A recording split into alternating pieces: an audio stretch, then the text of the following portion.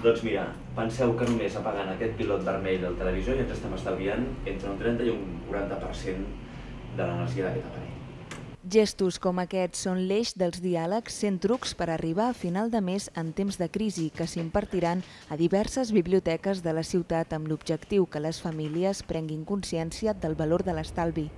Seria bo poder estalviar de la nostra renda, per tant dels nostres ingressos, entre un 15 i un 20% aproximadament. Si no hi ha aquesta capacitat d'estalvi, vol dir que alguna cosa està fallant amb les despeses que tenim.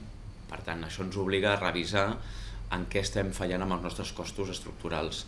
Per a fer-ho és imprescindible que cada llar estableixi una mínima comptabilitat similar a una empresa on el balanç entre ingressos i despeses no es descompensi amb els imprevistos. Per això cal aplicar la raó en les decisions de compra i millorar la relació qualitat-preu d'aquells productes que adquirim.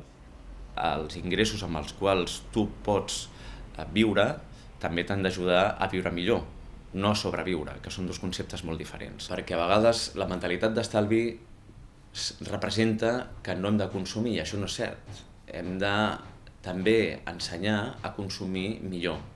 I això és una cosa que hem après amb la crisi.